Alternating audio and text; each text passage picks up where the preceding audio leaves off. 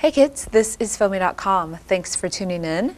And today I've got a really great option for those of you looking to protect your iPhone 3G or your 3GS. This is the Kyan case. The Kyan case is available in an array of fun and eye-catching colors, including red, pink, purple, blue, and hot pink. This case brings a custom cut screen guard and a microfiber cleaning cloth, which delivers total device protection. Constructed of a malleable yet durable acrylic shell, the two-piece easily slides onto your iPhone and locks into place.